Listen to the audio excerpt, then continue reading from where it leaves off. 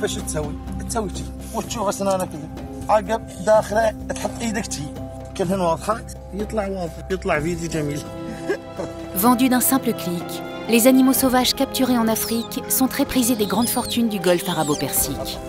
Ce marché florissant est un désastre pour la biodiversité. Quand ils survivent au transport, ces animaux domestiqués ne peuvent revenir à leur milieu naturel. He's very kind of skittish and scared of any any loud noise. It just startles him. So those are kind of the main issues. So you see that any noise, and it's just.